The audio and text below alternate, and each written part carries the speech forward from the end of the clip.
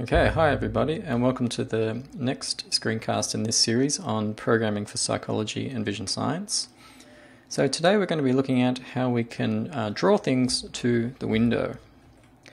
So, this is a, a short lesson just with a, a, couple of objectives where we want to understand this process of how we can draw stimuli to our uh, presentation window, and also to be aware of this concept of window flipping and some of the implications that it has for how you construct your code and how you show your stimuli.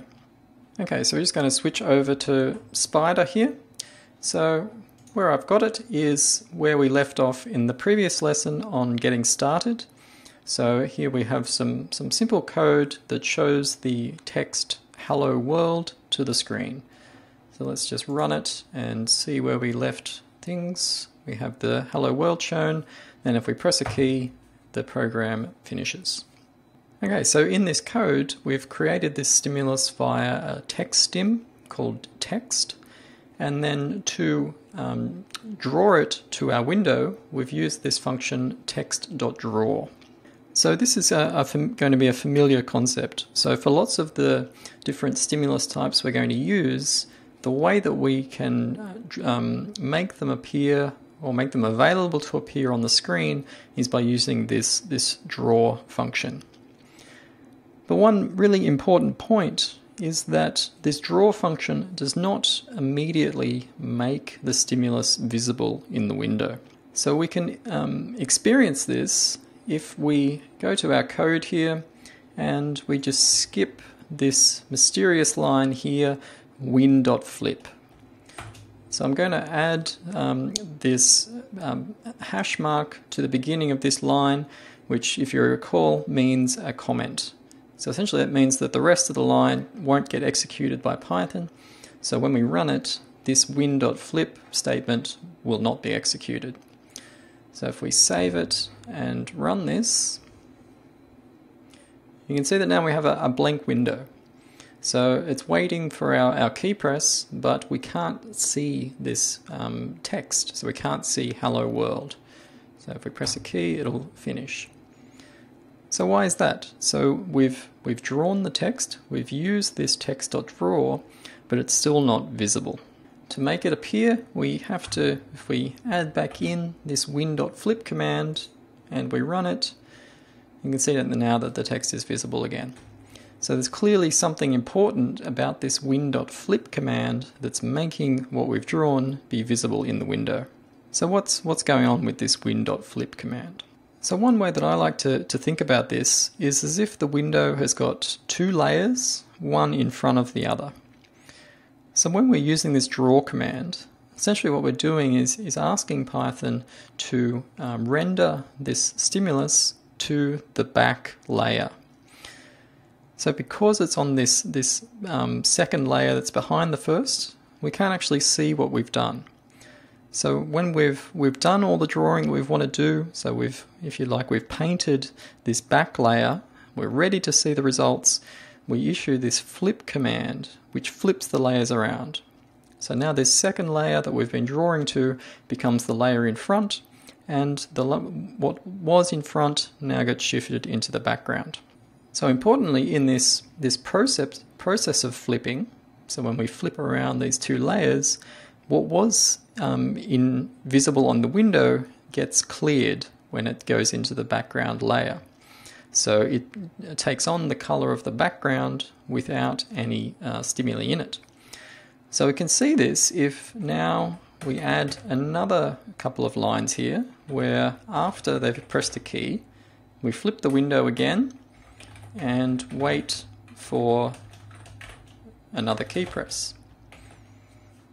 So what this is going to do, it's going to draw our text, it's going to flip the window, going to wait for a key, then when we press the key, it's going to flip the window again, wait for another key before finishing. So let's see what happens here.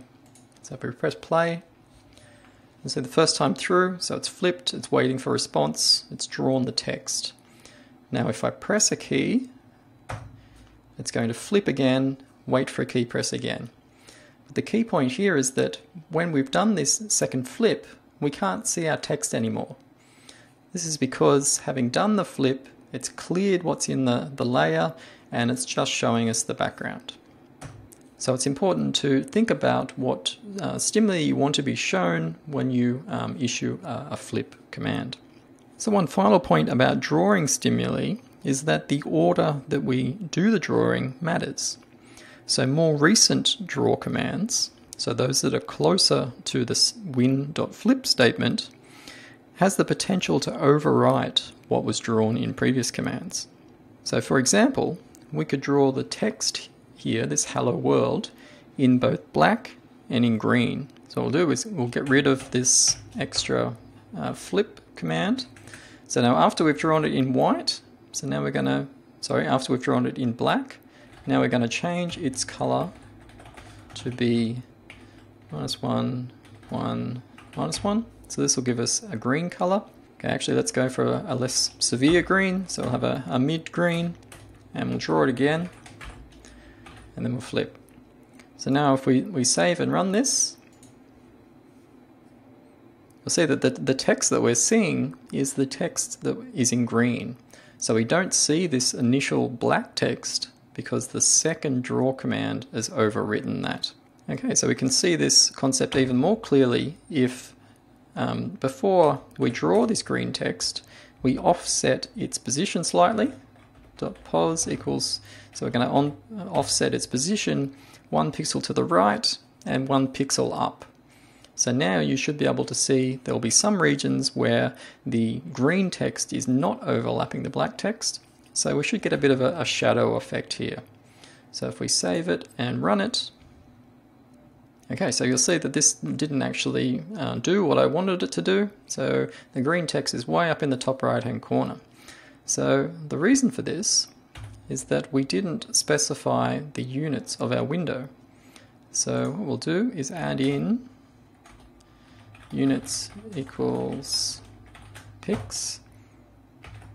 So now where when we're specifying the position, now 1 means 1 pixel, whereas before 1 meant the whole extent of the, the window. So now if we save it and run it again, now we'll see we have this slight dark um, edge to our text because we're not overriding that particular area of the window with our green text. Okay, so go back to our objectives.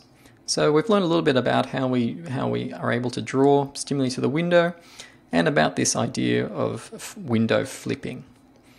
Okay, I'll see you in the next screencast.